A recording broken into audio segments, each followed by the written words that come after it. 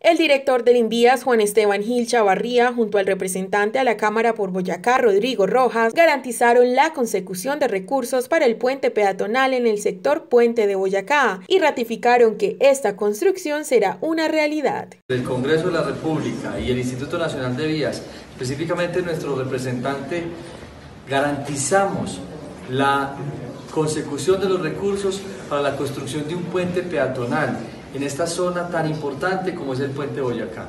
Ahí específicamente tenemos los niños de los colegios, tenemos las familias que generan una conexión del lado y lado de la vía y, están actualmente generando un punto de alta accidentalidad y un punto muy crítico para la movilidad de la zona.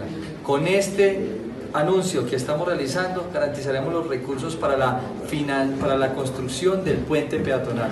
Es un puente peatonal el cual ya tiene los recursos en esta vigencia y esperamos sacar la licitación antes de terminar este primer trimestre.